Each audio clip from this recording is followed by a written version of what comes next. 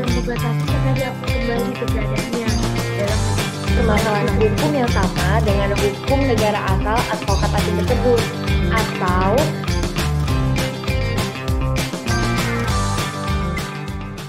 Halo teman-teman semua, selamat datang di podcast singkat Thinking Like Advocate. Perkenalkan, nama gue Rizky Kinanti atau biasa dipanggil Kinan, dan gue yang akan memandu podcast singkat episode pertama ini selama 10 menit ke depan sebelum gue memulai podcast ini, gue mau kasih tahu dulu nih, sebenarnya podcast singkat tuh apa sih guys? Oke, podcast singkat ini merupakan podcast yang dibawakan oleh enam orang mahasiswa Fakultas Hukum Universitas Indonesia yang akan terdiri dari dua episode yang saling bersinambungan dengan konsep ngobrol-ngobrol santai seputar dunia advokat, khususnya mengenai batasan dan ruang lingkup kerja advokat asing di Indonesia. Pada episode satu ini akan diusung nih judul Orang Asing Kerja di Law Firm Indonesia, kok bisa? Oke, jadi di episode satu ini akan dibahas soal regulasi, perizinan, serta kewajiban seorang advokat asing untuk bisa bekerja di Indonesia. Sebelum gue berlanjut lebih jauh lagi, gue mau perkenalin nih dua orang teman-teman gue yang akan menemani gue selama 10 menit ke depan sekaligus menjadi pemateri pada episode satu ini. Kepada Koye dan juga Natasha, dipersilakan. Halo teman-teman, nama gue Airuni Salawarijmi.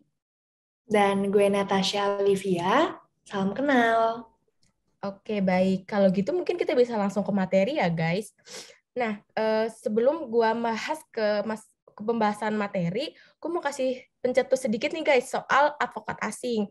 Nah, sepanjang yang gue tahu, dari pasal 1 angka 8 Undang-Undang Advokat ditentukan, advokat asing merupakan advokat yang berkeluarga negara asing yang mana menjalankan profesinya di wilayah Republik Indonesia dengan batasan ketentuan berdasarkan peraturan perundang-undangan di Indonesia.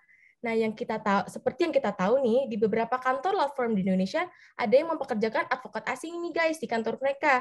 Kira-kira sebenarnya regulasi yang mengatur di Indonesia tuh gimana sih soal hal tersebut? Oke, uh, menarik sih pertanyaan yang gue jawab ya, Jadi dulu sebenarnya emang udah ada advokat asing di Indonesia sejak masa kolonial Belanda. Pada tahun 74, advokat asing untuk pertama kalinya diatur dan dibatasi serta diakui kembali keberadaannya dalam melalui keputusan Menteri Kehakiman RI nomor JS 15 garing 24 garing 7, keputusan Menteri Kehakiman RI ini sebenarnya terus ngalamin perubahan hingga tahun 2017. Ya cakupannya sih ya pembatasan advokat asing. Nah, jadi pada peraturan nomor 26 tahun 2017 yang mana law firm Indonesia cuma boleh nih eh, ngerekrut maksimal 5 advokat asing untuk bergabung ke law firm terkait. Oke, paham-paham. Berarti emang dari dulu udah boleh ya advokat asing kerja di iya. Indonesia. Cuma tentunya mungkin yes. sekarang dibatasi kebolehannya. Hmm, insight baru banget nih. Oke, gue ada pertanyaan lagi nih guys. Kira-kira kalau misalkan jelasin sejauh mana batasan kebolehannya itu sejauh mana ya? Oke, yang ini gue bantu jawab ya. Jadi gini, Kin, advokat asing itu hanya boleh dipekerjakan sebagai karyawan yang membantu advokat Indonesia dalam melayani klien yang memiliki permasalahan hukum yang sama dengan hukum negara asal advokat asing tersebut atau perkara-perkara hukum internasional di bidang bisnis dan penyelesaian sengketa di luar pengadilan sebagaimana ketentuan pasal 23 ayat 2 Undang-Undang Advokat gitu. Oke, paham-paham. Berarti emang advokat asing bisa kerja ya di Indonesia. Namun terhadap batasan ruang lingkup tertentu ya. Seperti yang tadi lu udah bilang soal perkara hukum internasional atau penyelesaian sengketa di luar pengadilan. Nah, gue mau lanjut lagi nih karena masih penasaran. Kalau bicara soal perizinan, kira-kira ada nggak sih yang perlu mereka lakukan untuk bisa bekerja di Indonesia? Pastinya ada sih, Kin. Jadi di Permenkumham nomor 26 tahun 2017 Pasal 4 ditentukan bahwa mereka wajib memperoleh izin dari menteri yang menyelenggarakan urusan pemerintahan di bidang tenaga kerja. Yang mana sebelum mendapatkan izin tersebut, kantor atau law firm yang memperkerjakan mereka juga harus nih dapat persetujuan dari Menteri Kemenkumham. Oke, paham-paham. Jadi kalau untuk berkasnya sendiri, uh, ada nggak ya yang perlu mereka penuhi? Oh jelas ada Kin. Jadi ada beberapa berkas yang perlu dipersiapin seperti surat permohonan yang telah ditandatanganin hingga rekomendasi dari organisasi advokat Indonesia serta perjanjian kerjasama antar kantor advokat dengan advokat asing yang akan dipekerjakan dan lain sebagainya sebagaimana ketentuan pasal 5 ayat 2 Permen Kumham nomor 26 tahun gitu. Oke, ternyata banyak juga ya, Nat. Pastinya ini juga jadi tantangan nggak sih buat mereka? Karena nggak semudah itu untuk mereka bisa bekerja di Indonesia. Nah, dari tadi kita udah bicarakan ya soal perizinan dan kebolehan.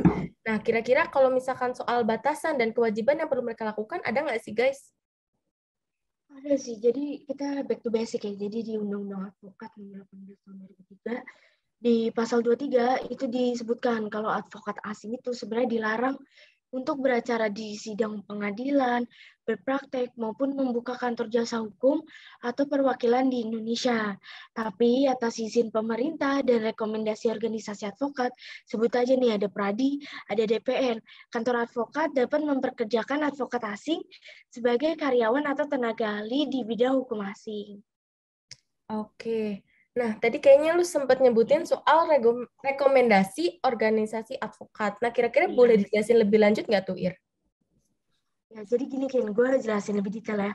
Jadi rekomendasi or organisasi advokat itu bisa diperoleh nih. Uh, jadi advokat asing itu harus ikutin ujian. Jadi mirip-mirip lah kayak advokat lokal gitu kan. Yang diadakan oleh Perhimpunan Advokat Indonesia yang gue sebutin tadi. Ada Pradi, ada DPN. Nah, di situ tuh semacam sowan lah sama Perhimpunan Advokat Indonesia. Hmm. Oke, okay, I see, I see. Nah, kalau misalkan bicara soal kewajiban nih guys, kira-kira apa sih yang uh, kewajiban yang mereka miliki gitu untuk advokat asing?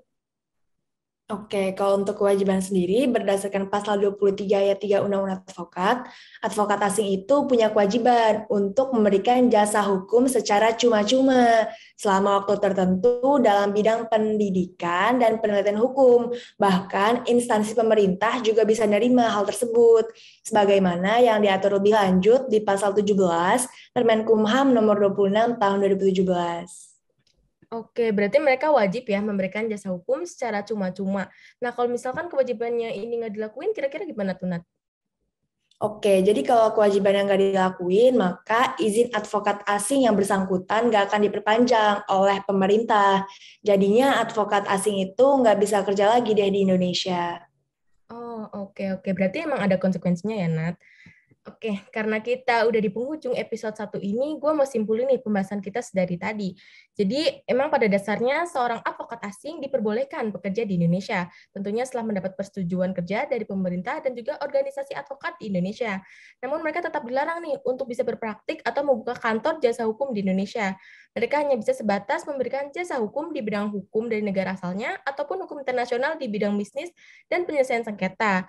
Dan tentunya mereka juga memiliki kewajiban seperti memberikan jasa hukum secara cuma-cuma.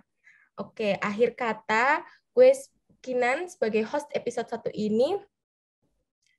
Dan gue Kawir selaku pemateri. Gue Natasha selaku pemateri, pamit undur diri. Bye-bye. Thank you guys. Guys.